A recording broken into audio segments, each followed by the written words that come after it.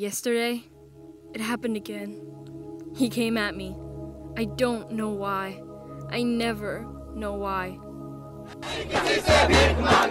These are scenes you rarely see in this part of New Delhi, an affluent corner of the capital normally far removed from activism.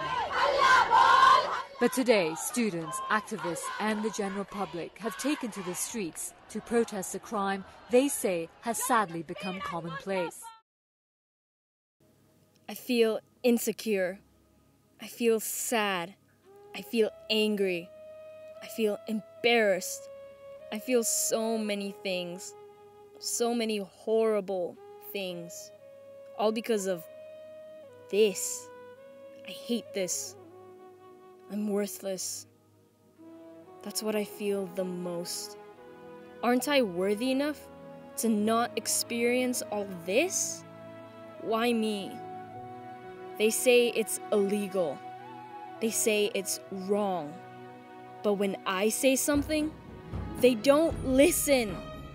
I can beg, I can plead, but it doesn't help. Nothing helps. Nobody listens. Nobody cares. 22,000 women report being raped each year yet only 26.6% of the offenders are convicted. 94,000 women report to being harassed by family members, yet only 19.1% of the harassers are convicted. There is a problem. Many don't say it, but there is. Families cast her out.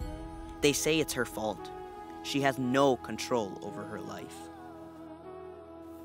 These women are brushed aside by officials as if they are nothing, as if they don't matter. The officials don't care about this crime as long as it doesn't happen to any of their loved ones. I need help.